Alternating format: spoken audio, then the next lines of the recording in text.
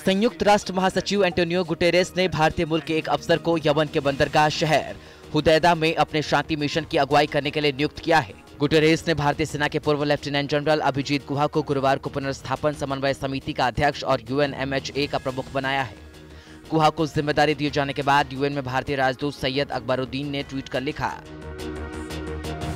परंपरा जारी है। भारत के lieutenant general Abhijit Guha Hodeidah समझौते के समर्थन में संयुक्त राष्ट्र मिशन के प्रमुख हैं। महासचिव एंटोनियो गुटेरेस के प्रवक्ता ने एक बयान में बताया, Abhijit Guha lieutenant general Michael Lollesgaard की जगह लेंगे, जिन्होंने 31 जनवरी से 31 जुलाई तक आरसीसी अध्यक्ष और यूएनएमएचए के प्रमुख के रूप में कार्य किया।